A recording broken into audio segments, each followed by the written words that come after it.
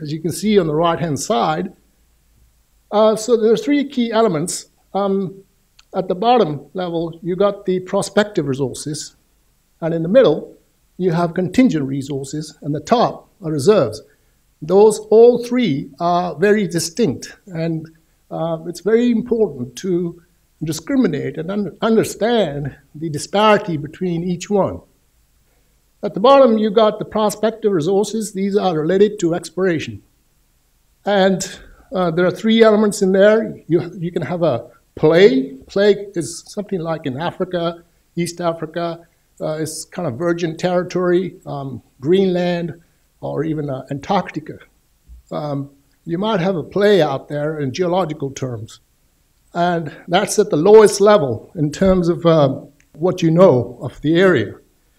So uh, at the next level, you've got uh, what's called a lead, where you have some more information, and then you can um, uh, use that uh, to go ahead and uh, evaluate if there is any oil and gas in that area or region.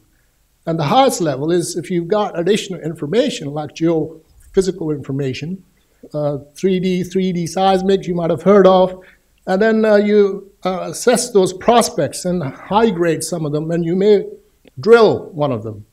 And that's uh, the exploration prospect. Did the 1C, 2C, 3C follow the same probabilities like 90, 50, and 10 uh, percentages in terms of yeah, that, that's, that, yeah, uh, sorry, that's absolutely right. It's, uh, when you use probabilistic methods to calculate the volumes, that's correct. Okay, thank you. The volumes that you have found, they will remain in this contingent category.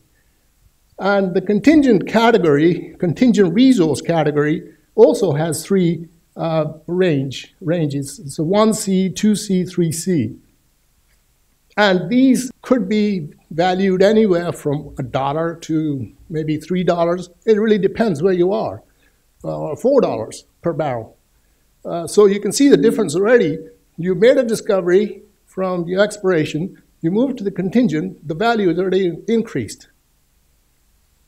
So once you've got your field development plan in place and everyone has approved it and all the, all the elements are in place, in other words, the stakeholders are um, aligned, then you can move ahead and go ahead and develop the field.